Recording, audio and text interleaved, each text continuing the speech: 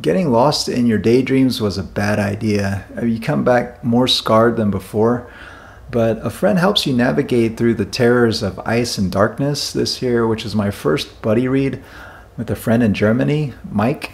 And I thought this would also be a great counterpoint to William T. Vollmann's The Rifles, which is another novel about a failed polar expedition. Sorry, Mike, if it didn't turn out the way we thought it would be, but you know, there's a couple key scenes that are pretty awesome at the end. So then the ice starts to melt and you can return home, but it's just falling back into the same routine. Your wife barely looks at you anymore. She'd rather be watching these Korean dramas all night. I mean, is it the Finnegans Wake induced erectile dysfunction or I don't know, it's just it's hard to troubleshoot the female mind and then you got to go to work the next day and troubleshoot computer networks which is impossible when you have millions of sperm trying to organize a prison break. You end up rebooting the wrong router during a maintenance and end up costing the company millions of dollars. At that point, you might as well go on break and try to figure out what book you're going to read next because you're going to have a lot of time on your hands.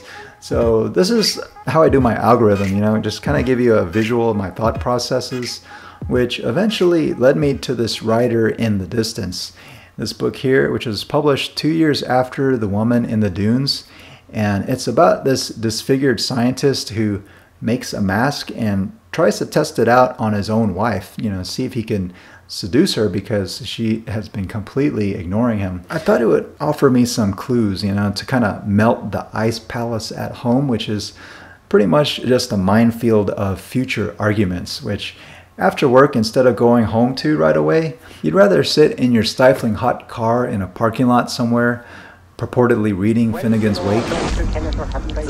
Every telling has a tailing, and that's the he and the she. Look, look, the dust is growing. Maybe she could see all your future screw ups written on your scarred face as she now sleeps in a separate room after watching her Korean dramas. Then you have a bad day on your new job and you sadly realize that you'll probably never get laid again.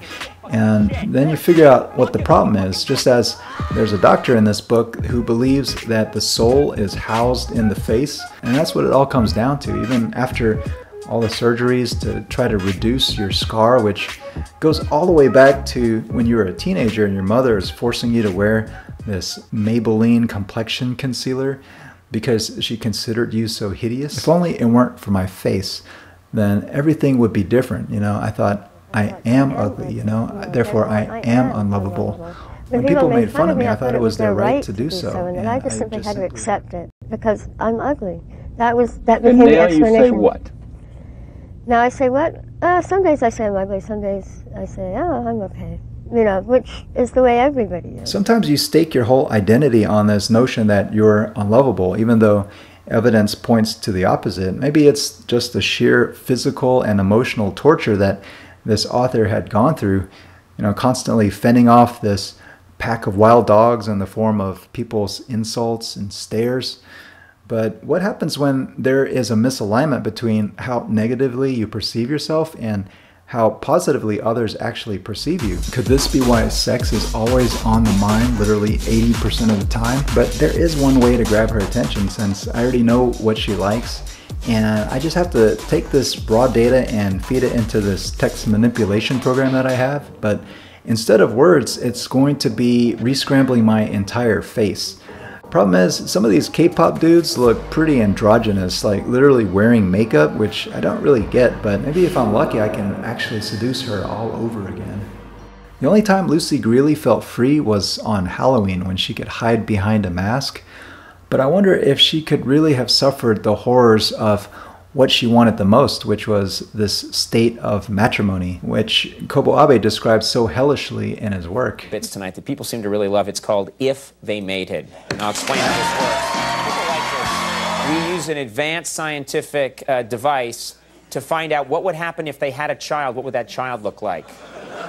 Let's find out what would happen if these two got it on. Just curious. And then why? That's not right. Well, you know, don't I told you. Every telling is a and that's the